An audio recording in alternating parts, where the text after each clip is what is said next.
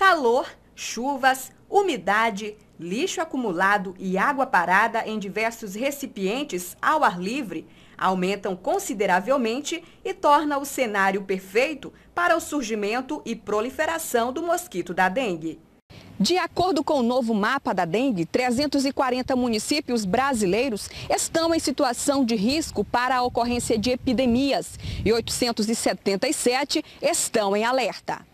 O levantamento rápido de índices para a aegypti, LIRA, divulgado nesta quinta-feira pelo Ministério da Saúde, revela ainda que o Maranhão registrou 916 casos de dengue confirmados até a oitava semana de 2015. O número é quase três vezes maior que o contabilizado no mesmo período do ano passado, quando ocorreram 390 casos.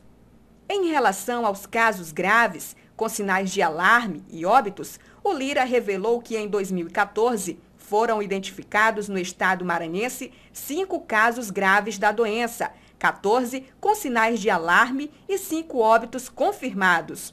Já neste ano, até agora, foram constatados quatro casos de dengue com sinais de alarme e nenhum caso grave da doença e óbito. Ao todo, 1.844 municípios brasileiros realizaram o levantamento entre janeiro e fevereiro deste ano. No ano passado, 1.459 municípios fizeram a pesquisa no mesmo período do ano.